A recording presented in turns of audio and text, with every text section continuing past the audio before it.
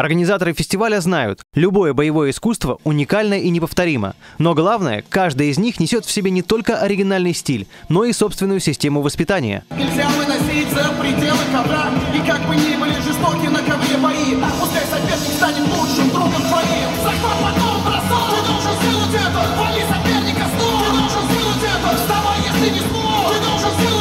Спортсмены целый год с нетерпением ждут фестиваля. Ведь на то, чтобы доказать свое превосходство над коллегами по спортивному цеху, у них есть лишь пара минут. Потому с каждым годом показательные выступления становятся все эффектнее.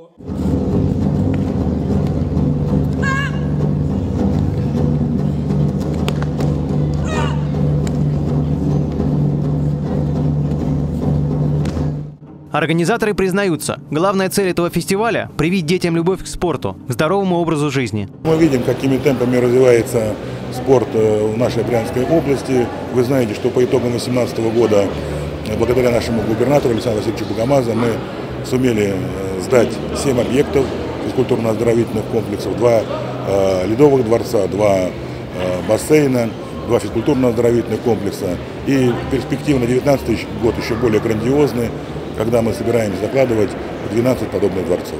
Покрасоваться на публике и сорвать свою порцию аплодисментов не главное. Если хотя бы несколько ребят под впечатлением от увиденного придут в спортивный зал, значит усилия организаторов и спортсменов были не напрасны.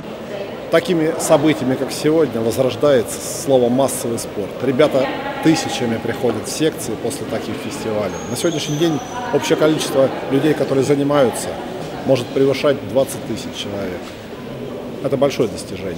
И чем больше мы будем проводить подобных акций, тем больше пацанов будут приходить в секции, тренироваться. И как следствие наша страна будет сильной, здоровой и непобедимой. Фестиваль в очередной раз оправдал статус одного из самых ярких и масштабных спортивных мероприятий года, познакомив сотни юных жителей региона с увлекательным миром боевых искусств.